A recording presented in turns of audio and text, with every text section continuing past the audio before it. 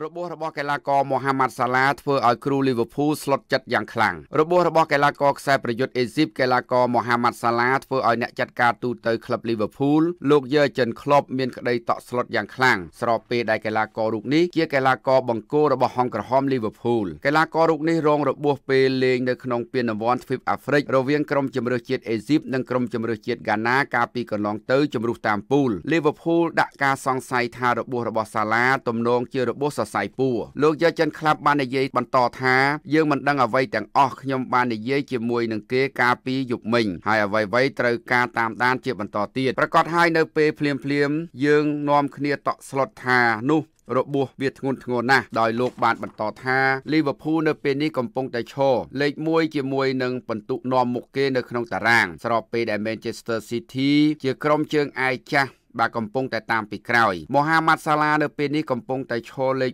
1ជាមួយនឹងខ្សែប្រយុទ្ធរបស់ Manchester City គឺកីឡាករ Erling Haaland ដោយគិតមកទល់ពេលនេះពួកគេសុទ្ធបាន14គ្រាប់ហើយ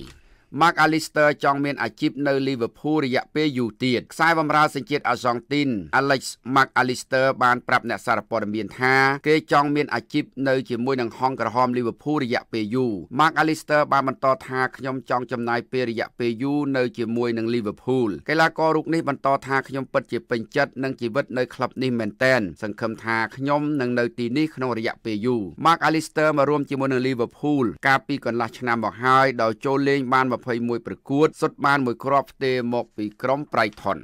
ក្លឹប AX Amsterdam របស់ប្រទេសហូឡង់បានទិញយកខ្សែបម្រើ Jordan Henderson ពីក្លឹប Arabi Saudit គឺ Al Ettifaq ដោយប្រកាសជាផ្លូវការហើយនេះបើយោងតាមការចុះផ្សាយរបស់អ្នកសារព័ត៌មាន3គឺលោក Romano ថ្ងៃពិនិត្យសុខភាពនិងថ្ងៃចុះកុងត្រាបានរៀបចំរួចរាល់អស់ហើយដោយធ្វើដំណើរពីអង់គ្លេសមកកាន់ប្រទេសហូឡង់ដើម្បីបញ្ចប់កិច្ចសន្យាមួយនេះ Henderson នឹងចុះកុងត្រាជាមួយនឹង AX រយៈពេល2ឆ្នាំកន្លះរហូតដល់ថ្ងៃទី30ខែមិថុនាឆ្នាំ